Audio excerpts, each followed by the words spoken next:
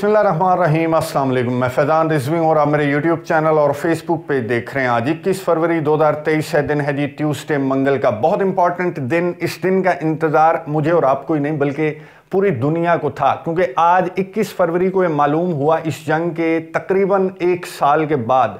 ये मालूम हुआ कि ये जंग ये तनाज़ा क्या आने वाले दिनों में बातचीत की टेबल पर आएगा, किसी बड़ी जंग में कन्वर्ट होगा या फिर यूक्रेन के अंदर रशिया का ऑपरेशन इसी रफ्तार, इसी पेस के साथ जारी रहेगा। रूस के सदर व्लादिमिर पुतिन ने इन तमाम सवाल के जवाब दिए। मुश्तरका पार्लिमान से इंपॉर्टेंट खिताब करते हुए डिटेल्स आपके सामने रखूँगा। रूस के सदर ने क्या मुस्तकबिल बताया? इस जंग का 50 परसेंट सामने आ चुका है। 50 परसेंट आज रात को नौ बजे मालूम हो जाएगा कि इस जंग का इस तनाज़ मुआवजे का मुस्तकबिल क्या है? क्योंकि आज रात को 9 बजे अमेरिका के सदर जो बाइडन भी प्रेस कॉन्फ्रेंस करने वाले हैं, वो प्रेस कॉन्फ्रेंस जो कि 22 फरवरी के लिए स्केजुअल थी, वो प्रेस कॉन्फ्रेंस 21 फरवरी को जो बाइडन करने वाले हैं, क्योंकि रूस के सदर ने एक रोज़ कबल मुश्तर पार्लियामान से खिताब कर लिया तो फिर जो बाइडन कैसे पीछे रह सकते थे? एक्चुअल वजह यह है कि जो बाइडन कीव के सरप्राइज़ विज़िट के बाद डायरेक्ट पहुँच गए पोलैंड पोलैंड में इस वक्त जब मैं वीडियो रिकॉर्ड कर रहा हूँ तो जो बाइडन जो पोलैंड के सरबराह हैं डूडा उनसे उनकी मुलाकात मोस्ट प्रोबेबली हो रही होगी, जिसके बाद रात को नौ बजे के बाद पाकिस्तानी वक्त के मुताबिक अमेरिका के सदर की पोलैंड के अंदर इंपॉर्टेंट प्रेस कॉन्फ्रेंस कैजुअल है, जो कि एक तरह से रूस के सदर के खिताब का रिएक्शन भी होगी। उस पर भी बात करेंगे, लेकिन उससे कबल बात कर लेते हैं। रूस के सदर व्लादिमिर पुतिन के इंपॉर्टेंट खिताब पर, जो कि पाकिस्तानी वक्त के मुताबिक आज दोपहर दो बजे स्टार्ट हुआ। 30 मिनट, तकरीबन 30 मिनट तवील रूस के सदर का एक खिताब था, जिसका आगाज़ रशिया के सदर ने इस अंदाज से किया कि बहुत क्रूशल, बहुत क्रिटिकल वक्त चल रहा है। यूक्रेन के अंदर रशिया का ऑपरेशन जारी है और आगे भी रूस के सदर ने कहा कि आगे भी हमारा ऑपरेशन यूक्रेन के अंदर इसी अंदाज और इसी रफ्तार के साथ जारी रहेगा ये हेडलाइंस हैं। तमाम जो जरीदे हैं इंटरनेशनल जरीदे, उनकी हेडलाइंस हैं कि रूस के सदर ने ये कहा कि उनका ऑपरेशन जो है, वो बग़ैर किसी तब्दीली के इसी रफ्तार और इसी अंदाज से जारी रहेगा अपने अहदाफ को हासिल करने तक। अब रूस के सदर ने कहा कि ऑपरेशन कंडक्ट करना हमारी चॉइस नहीं था, बल्कि हमारी मजबूरी था, क्योंकि हमें मजबूर कर दिया। वेस्ट ने जिस तरह से एथनिक रशियंस को तंग किया, मैं आपको ये बता दूँ कि रूस के सदर का जो खिताब था आज का, वो जो पुराने खिताब रूस के सदर करते रहे इस जंग, इस ऑपरेशन के दौरान, उनसे कुछ ज़्यादा मुख्तलिफ़ नहीं था। कोई नई बातें रूस के सदर ने इस खिताब के दौरान नहीं की, सिवाय इसके कि रशिया ने अमरीका के साथ न्यू स्टार ट्रीटी, जो एक बहुत बड़ा माहिदा साइन किया गया था साल 2010 में, रशिया के सदर थे दमित्री मेदवदेव। और अमेरिका के सदर थे बराक ओबामा। इन दोनों बड़ी जोहरी ताकतों के दरमियान ये जो न्यू स्टार्ट ट्रीटी का माहिदा साइन किया गया था, बेसिकली आर्म्स को कंट्रोल करने का माहिदा था और दोनों बड़ी ताकतों ने साइन किया और जो जोहरी हथियार हैं, जो बॉम्बर्स हैं, उनकी तादाद को तय किया गया कि 1550 और 700 से ज़्यादा इनकी तादाद नहीं बढ़ाई जा सकेगी। तो जब से जंग स्टार्ट हुई, ये माहिदा मैं आपको बता दूँ, ये रिन्यू हुआ था जो बाइडन के दौर में 2021 में और 2026 में इस माहदे ने एक्सपायर हो जाना था। खैर दो तीन महीनों से इस माहदे को ख़तरे में कहा जा रहा था कि माहदा बहुत ज़्यादा ख़तरे में है, क्योंकि अमेरिका की जानब से जो इंस्पेक्शन टीमें हैं वेस्ट की, नेटो ममालिक की, उन्हें अपने मुल्क में आने की इजाज़त नहीं दी जा रही थी। और रशिया ने ये कहा था कि अभी हम जंग में हैं, वेस्ट के साथ तो मैं इन टीमों को अपने मुल्क में आने की इजाज़त नहीं दूँगा। तो आज अपने खिताब के दौरान रूस के सदर व्लादिमिर पुतिन ने इस न्यू स्टार्ट ट्रीटी को सस्पेंड कर दिया। अभी वादे तौर पर चंद घंटों के बाद जो ऑफिशियल स्टेटमेंट सामने आएगी, उसमें वादे हो जाएगा कि रशिया ने ऐसा क्यों किया, इसकी वजह क्या थी और आगे इसके कॉन्सिक्वेंसेस इस माहदे से रशिया के निकलने के कॉन्सिक्वेंसेस क्या हो सकते हैं नेक्स्ट वीडियो में, इस पर डिटेल के साथ बात कर लेंगे। इसके अलावा, हमारे जहनों में बहुत सारे सवाल थे, पूरी दुनिया के जहनों में इस जंग को लेकर बहुत सारे सवाल थे, जिनके जवाब रूस के सदर ने इस खिताब के दौरान दिए। रूस के सदर ने वही हिस्टोरिकल बातें रिपीट की हिस्ट्री को रिपीट किया, वो रशियन एम्पायर से सोवियत यूनियन से और वेस्ट की सोवियत यूनियन के खिलाफ जो पॉलिसी रही, उससे उन्होंने स्टार्ट किया और एक्चुअली 2014 का क्राइमिया के मामले का ज़िक्र करते हुए रूस के सदर ने कहा कि ये जो जंग है, इसका आगाज़ हमने नहीं किया, बल्कि इसका आगाज़ किया है वेस्ट ने और इसका आगाज़ हो चुका था साल 2014 के बाद से, जिसको अब खुद, रूस के सदर ने कहा कि अब खुद वेस्टर्न लीडर्स अपने मुँह से एडमिट करते हैं कि कोई मिन्स्क एग्रीमेंट कोई इस तरह का बातचीत का उनका प्लान नहीं था, उनका मकसद था यूक्रेनियन रजीम को रशिया के खिलाफ इस्तेमाल करना और वेस्ट इसमें कामयाब हुआ, जो मौजूदा यूक्रेनियन रजीम है, उसको भी वेस्ट ने कामयाबी के साथ उसके कंधे को इस्तेमाल किया रशिया को डैमेज करने के लिए। रूस के सदर ने कहा कि डॉनबास में रहने वाले एथनिक रशियंस को बुली किया जाता था। उनके साथ जो सलूक रखा गया यूक्रेनियन रजीम की जानब से तो वो हमारे से एक्सपेक्ट कर रहे थे कि रशिया आएगा और एथनिक रशियंस के राइट्स की हिफाजत करेगा और हम गए। रूस के सदर ने कहा कि हम गए और पहले पहल हमने बातचीत के ज़रिए वेस्ट और यूक्रेनियन रजीम के साथ बातचीत के ज़रिए इस मामले को सॉल्व करने की ऑनेस्टली कोशिश की। बहुत ईमानदारी के साथ रूस के सदर ने कहा कि हमने कोशिश की कि ये मामला बातचीत के ज़रिए, किसी एग्रीमेंट के ज़रिए तय पा जाए और एग्रीमेंट तय पाया। मिन्स्क का एग्रीमेंट भी तय पाया, लेकिन जो इरादे थे वेस्ट के, वो अब वेस्ट अपने मुँह से बयान करता है कि उनका कोई इरादा नहीं था। जो डॉनबास रीजन के एथनिक रशियंस हैं, उनको राइट्स देने का या फिर इस मामले को थ्रू नेगोशिएशंस सॉल्व करने का उनका कोई इरादा नहीं था, बल्कि उनका इरादा था यूक्रेन को बहुत ज़्यादा पावरफुल करने का, उनका इरादा था यूक्रेन के अंदर इवन के जोहरी हथियार तक मुंतकिल करने का। और जब हमने देखा कि यूक्रेन जो है, वो बिल्कुल तैयार हो चुका है डॉनबास रीजन और क्रेमिया के ऊपर धावा बोलने के लिए, तब हमने यूक्रेन के अंदर अपने इस ऑपरेशन का आगाज किया रशिया के सदर ने किस अंदाज में ये बात की ये सुनिए उसके बाद बात करते हैं Blood was spilled while Russia was sincerely, I would like to emphasize this, sincerely was looking for a peaceful resolution. They were playing with the lives of the people. They were cheating in this game of cards. And these disgusting methods was tried out before they played the same double game before when they destroyed Yugoslavia, Iraq, Libya, Syria. And they will never wash away this shame.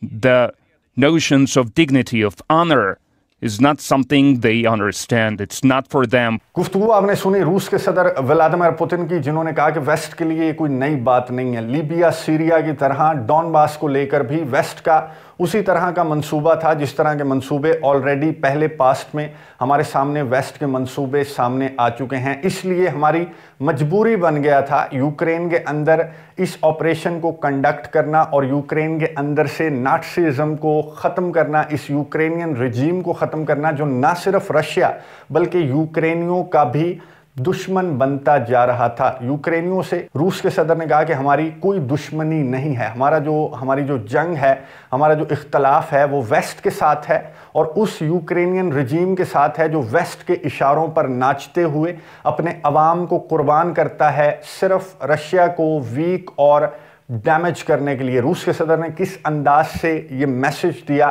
Waste को और Ukraine के अवाम को, ये सुनिए, उसके बाद बात करते हैं। We're not at war with the people of Ukraine. This is something I've said many times.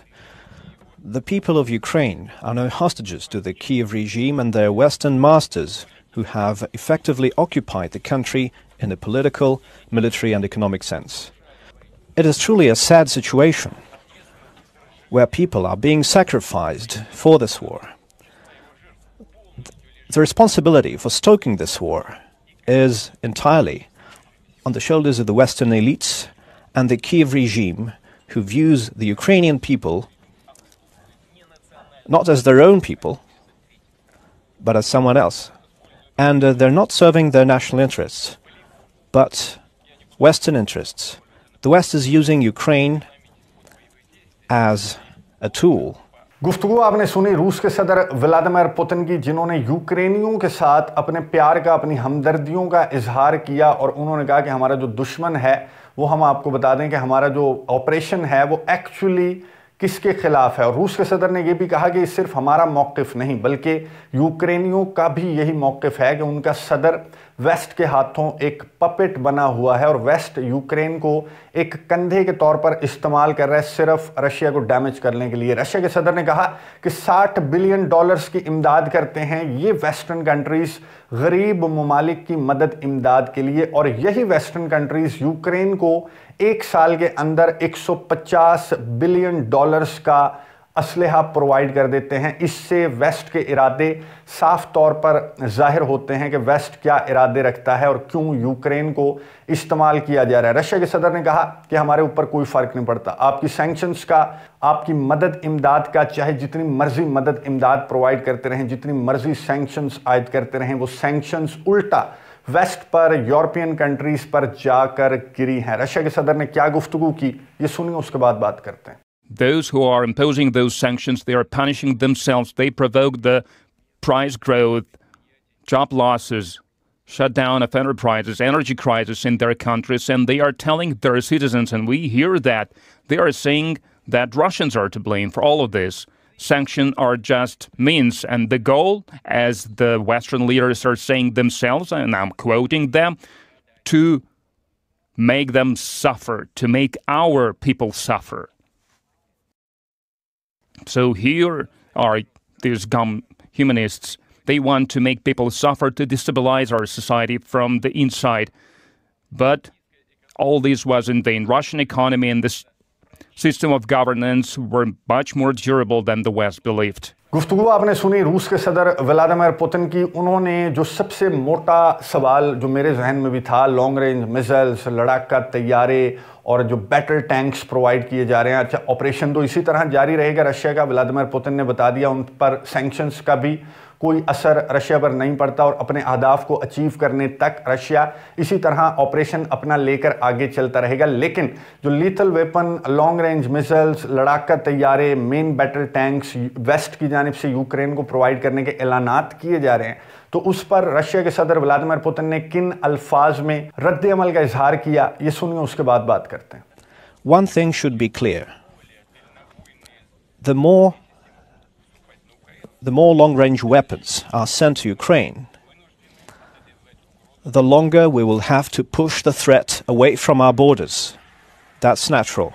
गुफ्तु आपने सुनी रूस के सदर व्लादिमिर पुतिन की जिन्होंने मैं आपको समराइज करके क्विकली बता दूँ रूस के सदर ने कहा कि एक तो ये ऑपरेशन कंडक्ट करना हमारी मजबूरी था क्योंकि वेस्ट की जानब से जिस तरह से मौजूदा यूक्रेनियन रजीम को यूज़ किया जा रहा था रशिया के ख़िलाफ़ तो जोहरी हथियार तक मुंतकिल जब हमने करते हुए देखा वेस्ट को, तब हमने अपने ऑपरेशन का आगाज़ किया यूक्रेन के अंदर। ये ऑपरेशन यूक्रेनियों के ख़िलाफ़ नहीं है, बल्कि हमारा इख्तलाफ है वेस्ट से और उस यूक्रेनियन रजीम से जो कि वेस्ट के हाथों में खेल रहा है। रशिया के सदर ने कहा कि हमारा ऑपरेशन अपने अहदाफ को हासिल करने तक इसी तरह से जारी रहेगा। किसी सैंक्शन का, किसी पाबंदियों का किसी हमारे साथ बाइकआउट का, हमारे ऊपर कोई फ़र्क नहीं पड़ता, फ़र्क पड़ता होगा तो यूरोप को फ़र्क पड़ता होगा। Long range missiles lethal weapon मदद इमदाद पर रिएक्ट करते हुए रशिया के सदर ने कहा कि आप अगर long range missiles lethal weapon provide करेंगे तो हम भी जो बॉर्डर करते हैं नेटो कंट्रीज़ रशिया को, उन्हें पीछे धकेलने के लिए, अपनी सिक्योरिटी के लिए, उन्हें पीछे धकेलने के लिए हर इकदाम उठाएँगे और ये नेचुरल है। ये था क्रक्स रशिया के सदर व्लादिमिर पुतिन की प्रेस कॉन्फ्रेंस उनके खिताब का, जिसमें उन्होंने एक चीज़ वाजे कर दी कि जिस तरह से गुज्त साल आपने देखा, उसी तरह से रशिया का ऑपरेशन चलता रहेगा। तो क्या रशिया इस तरह से अपना ऑपरेशन अफोर्ड करता है? ये सवाल आपके जहन में आ रहा होगा कि क्या इतना असलहा गोला बारूद रशिया के पास बचा हुआ है कि वो आगे चंद हफ्तों, चंद महीनों या चंद सालों इस ऑपरेशन को लेकर आगे चल सकता है। मैं आपको रीसेंट स्टेटमेंट बता दूँ। वागनर के सरबरा यवगानी प्रोगोजिन ने टेलीग्राम पर एक इमोशनल सा वीडियो पैगाम जारी करते हुए कहा। अपने फाइटर्स को मुखातिब कर रहे थे। अपने फाइटर्स को मुखातिब करते हुए उन्होंने कहा कि मैं माजरत करता हूँ कि मैंने बहुत ज़्यादा अपने सोर्सेज लड़ाए, बहुत ज़्यादा कोशिश की। लेकिन मुझे रशिया से, रशिया की मिलिट्री से, रशिया की डिफेंस मिनिस्ट्री से असलहा नहीं मिल रहा अपने फाइटर्स के लिए, अपने जंगजुओं के लिए तो इसलिए मैं तुम्हारे से माजरत करता हूँ। इट मीन्स के रशिया के पास असलहा गोला बारूद ज़ाहिर है। इस एक साल के दौरान एक मिनट, एक लम्हा भी ऐसा नहीं गुजरा कि फायरिंग शेलिंग रशिया की और यूक्रेन की बंद ना हुई हो। जो हाल नेटो ममालिक की तरफ़ है, वही हाल ज़ाहिर है। रशिया की तरफ़ है। अगर इस छोटे हथियार और जंग को इसी अंदाज से आगे लेकर जाने की बात करें तो रशिया क्या अफोर्ड करता है इस जंग को आगे चंद महीनों या चंद सालों तक ले जाने की? नहीं करता होगा। लेकिन रशिया के सदर को ये बहुत अच्छी तरह मालूम है कि मैं करूँ या ना करूँ अफोर्ड, वो बिल्कुल भी नहीं करते। रशिया का अपना वेपन है, रशिया की अपनी इंडस्ट्री है, रशिया जितना चाहे असलहा बना भी सकता है और रशिया ने अभी तक अपने इत्तेहादियों से मदद इमदाद लेना स्टार्ट नहीं की। अपने बिहाफ पर रशिया जो है अकेला, एक अकेला 30 से 32 और 50 ममालिक के ख़िलाफ़ खड़ा हुआ है। तो रशिया के सदर को मालूम है कि मेरे पास असलहा हो ना हो, मैं बना लूँगा, मैं कुछ कर लूँगा, मैं इस ऑपरेशन को इसी अंदाज से लेकर आगे बढ़ता रहूँगा। लेकिन वेस्ट और नेटो ममालिक का सॉफ्टवेयर ऑलरेडी अपडेट हो चुका है, क्योंकि यूक्रेन के सदर की डिमांड्स उनके मुतालबात ख़त्म होने का नाम नहीं ले रहे तो अब अमेरिका के सदर जो बाइडन किस तरह से रिएक्ट करेंगे, रूस के सदर व्लादिमिर पुतिन के इस खिताब पर क्या एक साल और? ये वेस्टर्न कंट्रीज़ नेटो ममालिक यूक्रेन की मदद इमदाद को अफोर्ड करते हैं, बिल्कुल भी नहीं। मुझे बहुत अच्छी तरह से अंदाज़ा है कि रूस के सदर के इस खिताब के बाद यूरोपियन कंट्रीज़ और नेटो ममालिक के अंदर किस तरह की बातें हो रही होंगी कि हमारा क्या हशर होगा अगर एक साल मज़ीद ये जंग जारी रखते हैं रूस के सदर व्लादिमिर पुतिन इस जंग को बंद करने के लिए। कुछ तो हमें करना पड़ेगा। तो इस तरह की बातें ज़ाहिर है, यूरोपियन कंट्रीज़ और नेटो ममालिक के अंदर चल रही होंगी कि ये बंदा तो थक ही नहीं रहा, ये ऑपरेशन को इसी अंदाज से लेकर चल रहा है। इतनी ज़्यादा सेंक्शंस इतना ज़्यादा असलहे गोले बारूद की मदद इमदाद का ये असर हुआ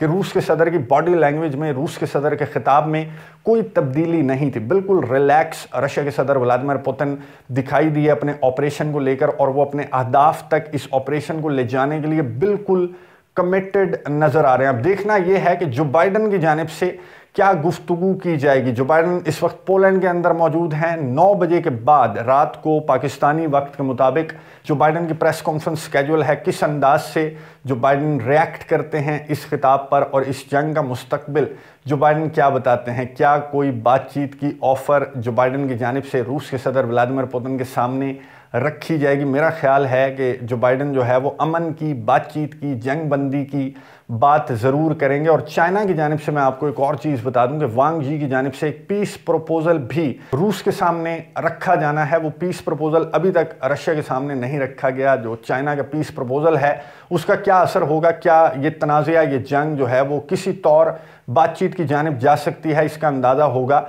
जो बाइडन के खिताब, जो बाइडन की प्रेस कॉन्फ्रेंस के बाद, जो बाइडन की प्रेस कॉन्फ्रेंस के हवाले से नेक्स्ट वीडियो में आपको अपडेट्स दूँगा और तफसील के साथ बात करेंगे। इस जंग के मुस्तबिल के हवाले से नज़र रखेंगे, आपको अपडेट्स देता रहूँगा। अगली वीडियो तक के लिए इजाज़त दीजिए। अल्लाह